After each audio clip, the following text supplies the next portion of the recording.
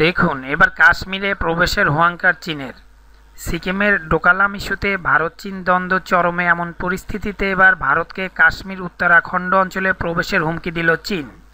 সীমান্ত থেকে সেনা প্রত্যাহার করে নিতে ভারতকে হুঁশিয়ারির পর এবার তাদেরকে হুমকি। আমরা যদি উত্তরাখণ্ড বা কাশ্মীরে ঢুকে পড়ি তখন কি হবে? তবে সীমান্ত থেকে সেনা প্রত্যাহারের বিষয়ে চীনের হুমকির কোনো তোয়াক্কাই করেনি ভারত। প্রায় দুই মাস ধরে সিকিম সেক্টরের ডোকালাম মুখোমুখি অবস্থান করেছে চীন এবং ভারতের সেনারা। বিতর্কিত ওই অঞ্চলে রাস্তা নির্মাণে চীনকে বাধা দিয়ে আসছে ভারত। অন্যদিকে চীনের দাবি ওই অঞ্চলে নিজেদের এলাকাতেই রাস্তা নির্মাণ করেছিল তারা। এদিকে ভুটান বলেছে, ডোকালাম তাদের। কিন্তু চীন সেখানে ভুটানের আঞ্চলিক সীমায় অবৈধভাবে প্রবেশ করেছে।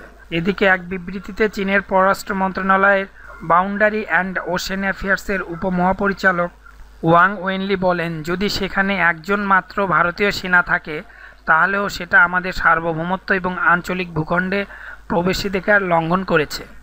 অপরদিকে চীনের অভিযোগ অস্বীকার করে ভারতের পররাষ্ট্রমন্ত্রী সুষমা স্বরাজ বলেন, সবসময় ভারত চীন সীমান্তে শান্তি ও স্থিতিশীলতা প্রতিষ্ঠায় বিশ্বাসী ভারত।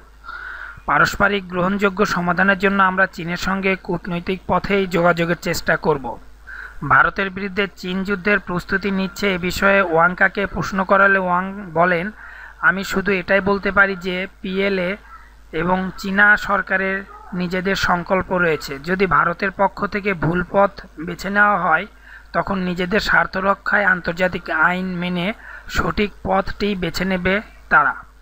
তিনি বলেন, এটা একেবারেই পরিষ্কার যে চীনের নিজস্ব অঞ্চলে সেনা মোতায়েন করেছে ভারত। তাই তাদেরকে সেনা প্রত্যাহার করে নিতে হবে। For latest news please subscribe my channel thank you everybody